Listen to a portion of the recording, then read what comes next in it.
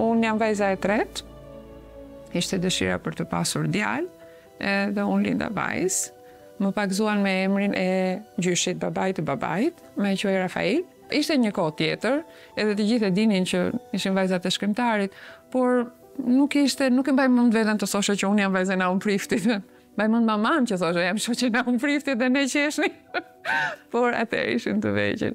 Neve në shpinë tonë vinin fshatarët nga Rehova, vinin ata nga Divjaka. Unë shpesh mendoja që ne ishim edhe nga Divjaka, se babi kish punuar në Divjakë si mësues, dhe ata që kishte njohur atje vinin në shpinë tonë, kështu që edhe mua më dukej edhe kur më pyesin a jeni ju nga Lushnja ose nga Divjaka, unë thosha, ndoshta edhe jemi, koha e periudha kur babi punoi si mësues, Në Divjakë, ai e quajti, ndonëse shkoi për t'u riedukuar, e quajti një periudhë me fat sepse u ndje kaq afër dhe e kuptoi kaq mirë shpirtin dhe psikologjinë e tyre, sa një pjesë e lexuesve mua edhe në Amerikë kur kam shkuar më kanë thënë kemi menduar se Naumi është nga Divjaka, sepse personazhet një prej tyre njeriu që ndiqte kuajt, ishin personazhe të vërteta të të të Divjakës.